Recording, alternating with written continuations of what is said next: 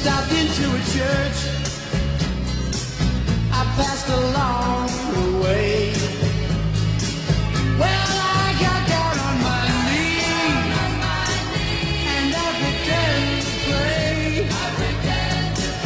You heard the preacher like the cold. He knows I'm gonna stay.